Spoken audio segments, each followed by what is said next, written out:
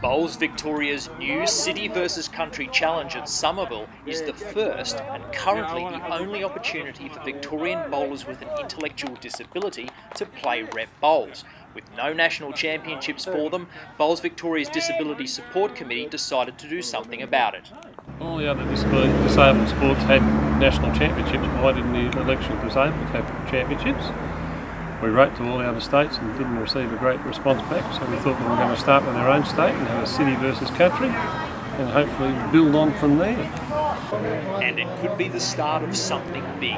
Eight player teams representing Vic Metro and Vic Country played three rounds of singles and pairs, and the quality of bowls, as you can see here, was very high indeed.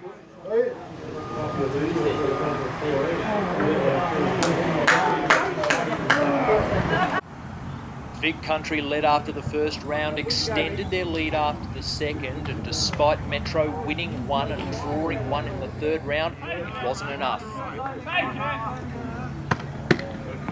Um,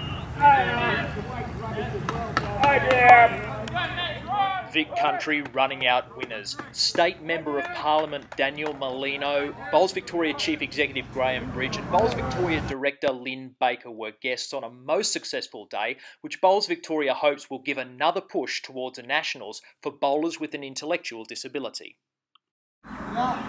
Long term down the track, what we would really like to do is to be have a national championships for intellectually disabled bowlers with all states participating and in the long, long term down the track, we would like to hopefully have start a trans Tasman with the Kiwis, where we can have the intellectually disabled and the visually impaired and the uh, physically disabled bowlers all participating in a transaction against against a trans Tasman against the Kiwis.